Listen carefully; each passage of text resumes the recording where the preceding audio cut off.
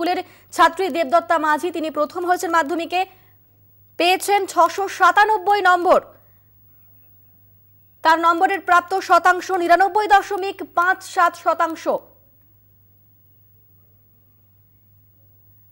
এই মুহূর্তে সরাসরি রয়েছেন দেবদত্তা মাঝি, আমাদের সঙ্গে সরাসরি রয়েছেন।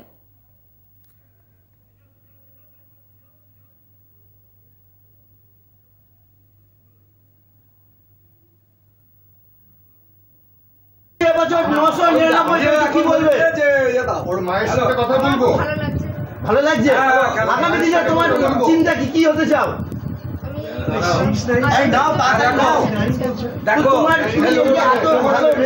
কাকে দেবে? কাকে সাফল্য দেবে? তোমার পেছনে ভূমিকা আর কার? হাজার আশি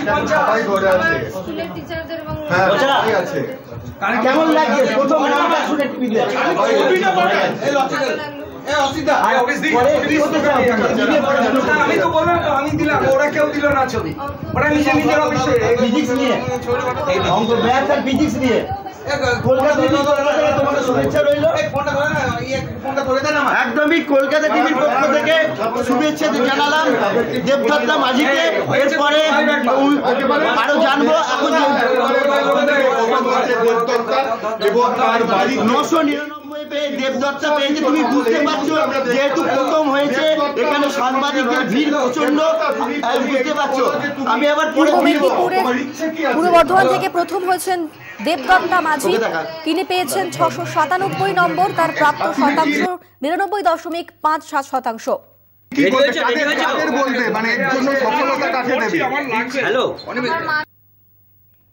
কিংবা আমার আমি পড়তাম সেই হ্যাঁ? টিচাররা স্কুলের শিক্ষকরা কীভাবে সাহায্য করতো? হ্যালো হ্যাঁ। হ্যালো বলো। পেয়েছ? মানে প্রাইভেট টিউশন খুব দরকার ছিল মনে হয় মাধ্যমিক একটা ভালো রেজাল্ট করার জন্য প্রাইভেট টিউটর কি মনে হয়? দরকার ছিল এবার যদি কোনো ছাত্র বা ছাত্রী পড়তে পারে নিজে সেক্ষেত্রে দরকার হবে না।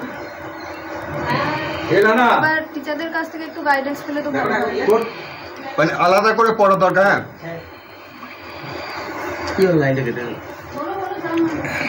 আর কি বল তুমি কি খেতে ভালোবাসো বলো? সব থেকে বড় যেটা আজকে এত আনন্দের দিন। কি বলবে বাড়িতে? দেবদত্তা কেমন লাগছে? কেমন লাগছে কেমন কেমন লাগছে এই সাফল্যে? কি কি খেতে চাইবে আজকে কেমন লাগছে সাফল্যে? কি পছন্দ করো দেবদত্তা? কেমন লাগছে সাফল্যে কেমন লাগছে? এই সাফল্যে কেমন লাগছে? সঙ্গে কতটা সময় পড়াশোনা করতে সারাদিনে? বাবা মার কোনো অবদান তোমার এই সাফল্যের পেছনে? মায়ের অবদান আছে কি হতে চাও? এ কি হতে চাও? কি হ- ইচ্ছে? হ্যাঁ, অরূপ বলছি দাও। সাথে আমি ইঞ্জিনিয়ার হতে চাই। পড়াশোনা ছাড়া কোনো হবি মানে। অন্য সময় কি করতে বাকি সময় যে সময় পড়াশোনা করতে না সেই সময় কি করতে